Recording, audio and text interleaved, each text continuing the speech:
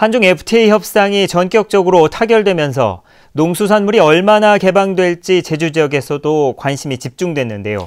일단 감귤 등 제주 지역 주요 품목들은 개방되지 않는 것으로 결론 났지만 아직까지 안심할 수는 없다는 전망도 나오고 있습니다. 권혁태 기자가 보도합니다. 급박하게 타결된 한중 FTA.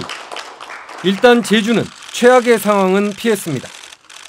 감귤과 마늘, 참조기와 넙치 등 제주 지역 주요 품목 11가지는 모두 관세가 그대로 유지되는 것으로 결론 났기 때문입니다.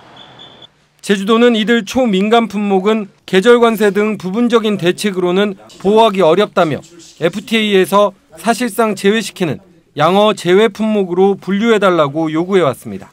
이제 중요한 것은 우리 제주도의 1차 산업이 경쟁력을 확보하는 것입니다. 그러나 안심할 단계가 아니라는 우려도 나오고 있습니다.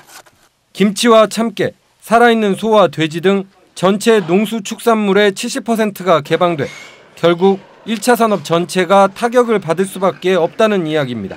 수입 개방으로 인해 가지고 피해가 되면 그 다시 또 이제 피해를 좀 덜 보는 우리가 제외됐던 품목으로 다시 또 그것이 또 전이 되는 그런 것에 의해서 간접 피해를 주는 형식으로 좀 상당히 나타날 가능성이 많지 않겠느냐 저는 그렇게 보고 있습니다.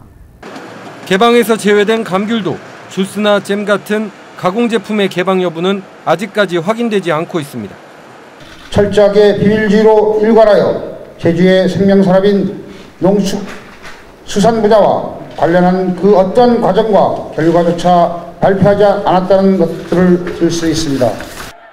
도내 농어업인 단체들은 삭발투쟁 등 강경투쟁도 예고하고 있어 협상 결과가 공개될 경우 최종 비중까지 논란은 계속될 것으로 보입니다.